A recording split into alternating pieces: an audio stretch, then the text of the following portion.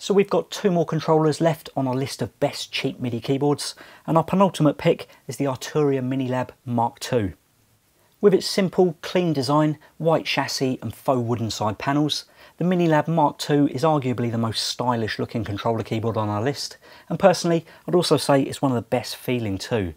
It's got 25 slimline keys, which are marginally bigger than standard mini keys, making them a little more comfortable to play and the sharps and the flats, that's the black notes, have got a slight texture to them. So overall the keys feel a little less plasticky than on some other models. Along with those keys, there's 16 multifunction encoders which can be assigned to control pretty much any parameter you like, giving you a huge amount of control over your software and your instruments.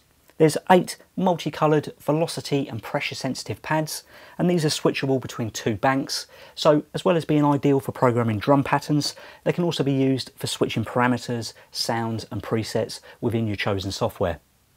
Pitch bend and modulation are controlled by two touch sensitive control strips.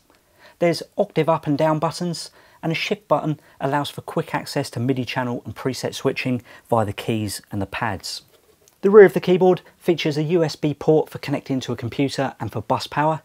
There's an input for a sustain pedal which can also be assigned to control other parameters. And to complete the package you also get a pretty powerful software bundle including Ableton Live Lite, the UVI Model D Grand Piano plugin and Arturia's Analog Lab Lite offering over 500 fantastic sounding classic synth and keyboard sounds. So that's the Arturia Minilab Mark II. It looks great, it feels fantastic and it's packed full of really versatile control options. It's definitely one to take a look at.